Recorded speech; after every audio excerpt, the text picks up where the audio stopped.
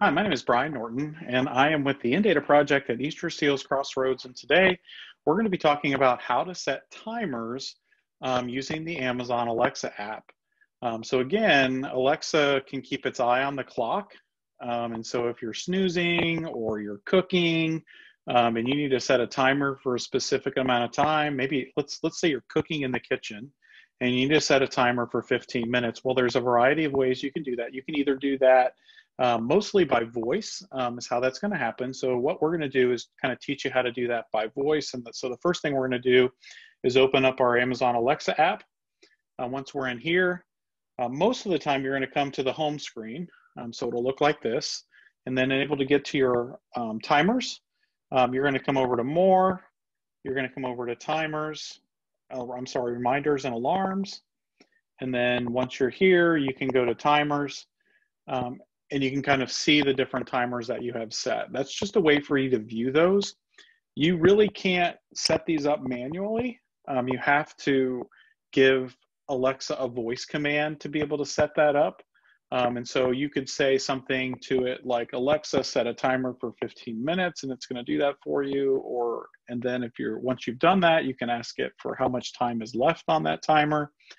You can tell it to set a sleep timer for 30 minutes all sorts of really great things to be able to make these things work for you. So what I'm going to do is I'm going to go back out to my home screen because since you have to create timers with a voice command, this is where you would go. Um, you'd be able to hit this tap to talk to Alexa button, um, and then we'll go ahead and set, a couple, set up a couple timers. Alexa, set a timer for 15 minutes. 15 minutes, starting now. To hear this timer, please make sure you've turned off Do Not Disturb in silent mode. It does recommend that you have silent mode turned off and that you have Do Not Disturb turned off um, because that would then prevent it from making sounds so that you would be aware that the timer is going off.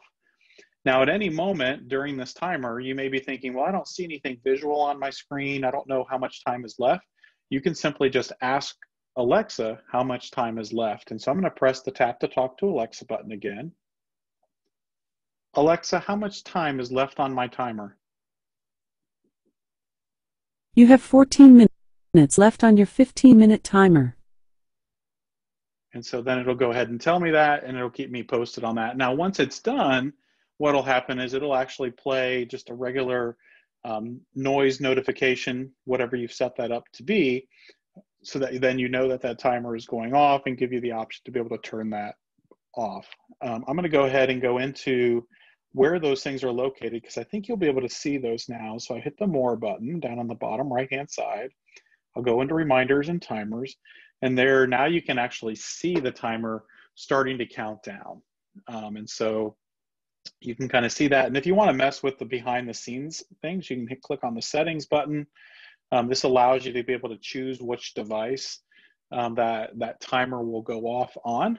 Um, and so um, those are the main settings that you have. I don't think you have the option to actually change the sound that it creates, um, but it's a great way to be able to set timers using the Amazon Alexa app. And that's your tech tip for this week. My name is Brian Norton with the InData Project at Easterseals Crossroads in Indiana.